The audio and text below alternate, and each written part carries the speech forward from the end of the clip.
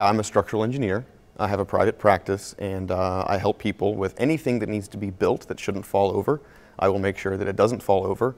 Um, if it's already been built, and I can help them bring it up to spec so it doesn't fall over, uh, or just let them know that it's fine and move on from there. It's an underrated uh, program in, in, a lot of circles because a lot of people um, has a reputation for being a very difficult program to use, um, and it can be. Uh, however, it's also the most powerful, uh, the most versatile, and it simply does things that most other programs e either can't do or are so cumbersome to try to do those things with. In, um, I think it's kind of like the gold standard of analysis software uh, in structural and mechanical engineering, and I think that the, you know, once you learn how to use it, you know, your options are, are pretty much limitless, and I really value that as an engineer. The user has absolute control over every single aspect of his model. Um, most other finite element programs or structural analysis programs do not allow you the versatility to define every single aspect of your structure. Um, without getting into too much technicality, what that means is that I can determine exactly what my boundary conditions are.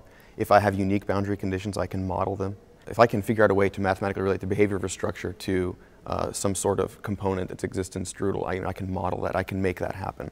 Um, and uh, I think that STRUDL offers this kind of control. With that comes a lot of responsibility to make sure you're doing it right.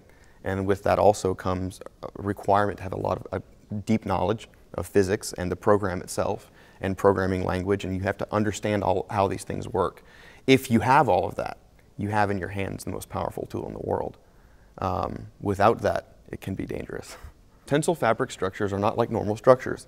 Um, normal structures, like the one we're sitting in right now, uh, has roof and walls, and these things are anchored to concrete, and the concrete's anchored to the earth. And if everything goes right, nothing moves, or at least not very much. Um, and that's the way it should be. Tensile fabric structures aren't really nearly so nice. You can reach up with your hand and pull on them, and they move. And the wind blows on them, and they can billow up, and they can sag down. Um, and this is not the way structural engineers like to work. We don't like things to move. We want everything to stay put. So tensile fabric structures don't do that. So it presents a bit of a challenge. Um, our codes don't really govern um, how to analyze tensile fabric structures.